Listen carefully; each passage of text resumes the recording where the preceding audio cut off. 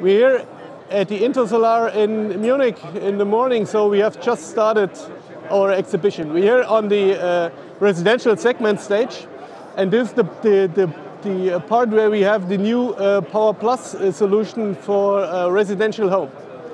And here we have the latest uh, member of our new Sunny Tripower family. This is the new Sunny Tripower for residential applications. By the way, the the smallest uh, one you can get uh, in, in the market and a very nice, very intelligent product.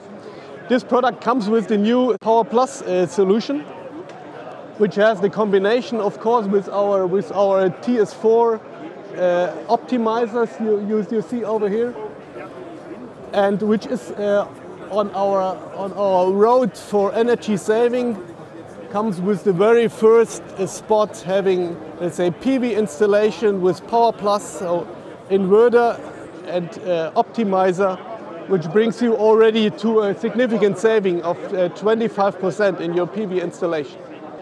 So now we are at the uh, second and further steps of our road for energy savings for residential solutions.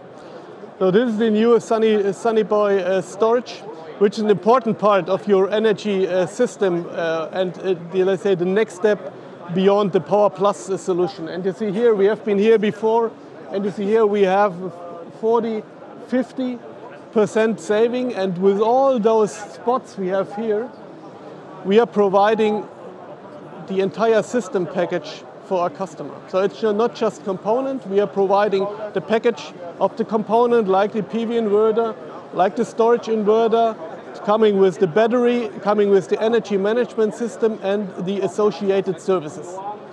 So wherever you want to be with your energy savings, whether 40, 50 or even, even beyond, in your residential home system, SMA has the systems solution for you.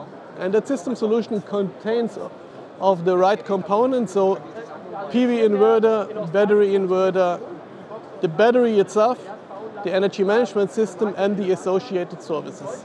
So you can choose wherever you want to be on your road for energy savings with SMA.